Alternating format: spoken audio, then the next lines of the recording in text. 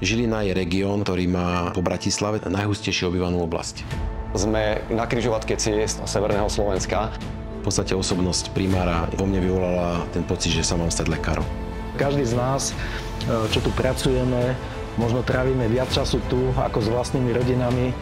Aj chirurgia, aj uradovka, aj my sme odbory, kde sa zomiera. Prečo chceš operovať tieto výkony? To si stále v jednou nohou vo vezení.